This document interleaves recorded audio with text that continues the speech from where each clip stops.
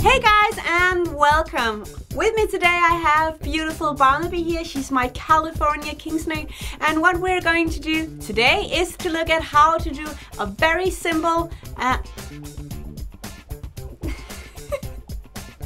What we're going to do today is to take a look at how to do a very simple setup for the California king snake. The California king snake is one of my absolute favorite snakes and for a very good reason. It was the first snake that I ever ever got and ever since that I just fell in love with this species. These guys are incredibly awesome because first of all they do get pretty pretty big. They can grow up to something like 1.7 meters and that is a pretty pretty long snake. They do also get kind of heavy around the body, not like the boa of course, but they do get to a pretty pretty good size. And besides that they are incredible eaters. Like Barnaby here has never ever refused a meal and they are also as you can see pretty pretty good to handle. The California king snake unfortunately do have a reputation of being kind of aggressive. Uh, I do agree that they are a lot more active than for example the corn snake but I wouldn't say that they are aggressive.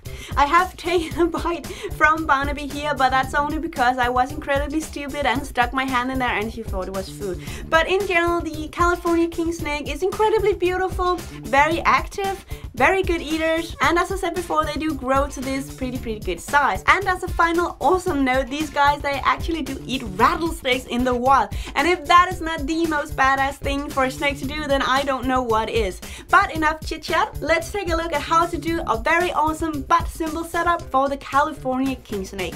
So this is Barnaby's terrarium as it is looking now. I emptied it all out so we can start from the beginning. In the background here I have some cork. I really like to cover the background of every terrarium I have because it does make the snake feel more comfortable. So I can highly recommend you doing that. You don't need to put up this cork. You can do something as easy as putting a towel on top and on the back of uh, the side of the terrarium. If you are having a snake that does show signs of stress or is not that comfortable, you can also cover the sides. It really helps the snake feeling more comfortable.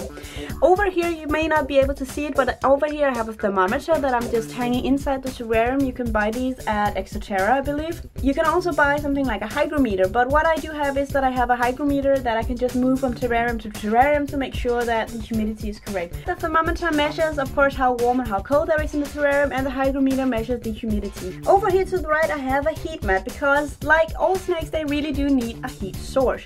You can also go a heat bulb if you want to that's totally your choice but the California Californian king snake does not need some sort of special light so you can just as easily go the heat mat and here you can see the heat mat I have one just like the one I put underneath and what you do is that you stick it underneath the terrarium and then you plug it in and you're good to go the next thing we need is some sort of substrate. Of course, the California king snake really do prefer to burrow like the corn snake, but I have chosen to keep Barnaby on newspaper because she's doing perfectly fine on that.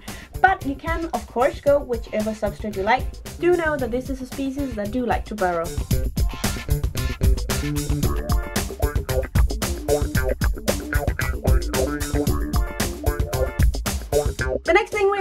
Is a hide and you've probably seen a lot of different hides. They can look very, very differently. One of them is, is this. These are very, very commonly used. You can find them in pet stores and you can find them in expos as well. I really like how these looks because they look very, very natural. What you can also find also at pet stores or expos are these. Whoops.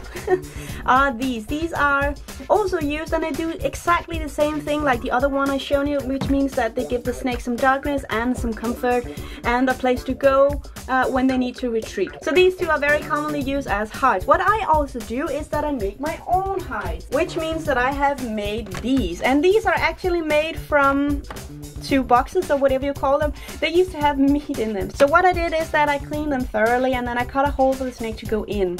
So this is something that you can also do. What the hides really need to do is of course give the snake somewhere to retreat and somewhere in complete darkness where the snake can just chill. It doesn't matter if you bought the hide at an expo at the pet store or if you made it yourself. As long as it works, it works. And the snake really doesn't care how it looks so it's basically up to you. We have the two hides ready. I have one in the warm end and one in the cold end. I really like to put in at least two hides for my snakes so they can choose whether they want to stay in the warm end or in the cold end. The next thing we're gonna put in is this branch.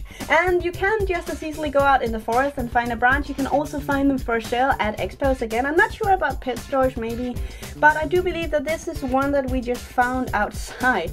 I'm putting a branch in here because the California king snake really does like to explore, so she will definitely be using this. And this rock here is to make sure that it stays in place.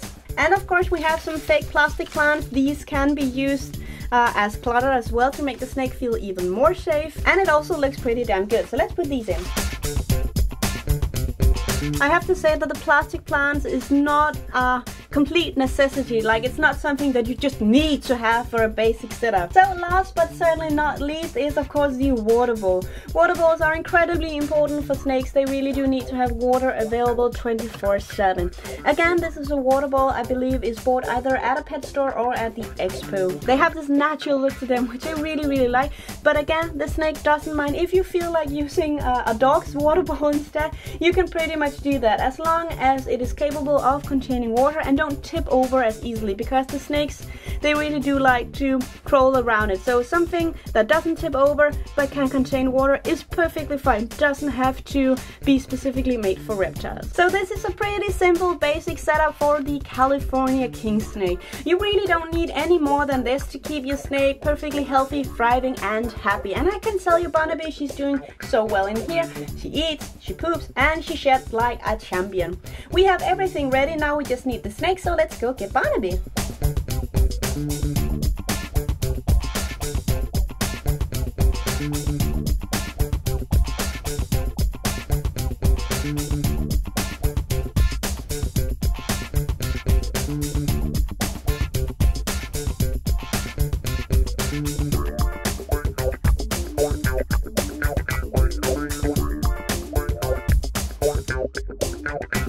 Alright